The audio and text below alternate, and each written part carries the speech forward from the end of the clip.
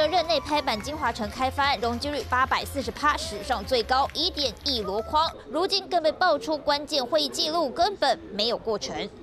游淑慧修出一百一十一年都省会会议记录，发现金华城中间讨论过程全部省略。委员会二十三人中，市府官员现职加退休共有十二人，过半具有把关机制。但这场会议中，市府方仅四人出席，加上被视为柯文哲自己人的民众党秘书长张哲阳，请假率高达七成五，少于外部委员。整个讨论过程，会议记录里面居然毫无记载。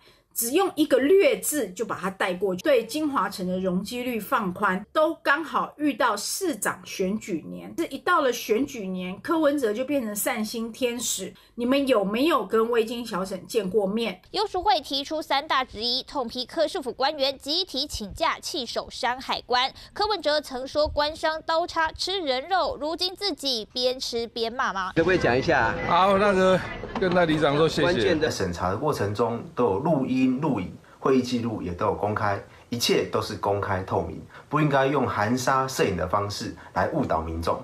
尽管民众党声称都有录影存档，反击被抹黑，但北市都发局说明，该场会议涉及建筑设计，有智慧财产权、著作权疑虑，没有直播，没有录影。而如今蓝绿议员也掌握会中录音，是否成为揭开柯文哲又无弊端关键？各界高度关注。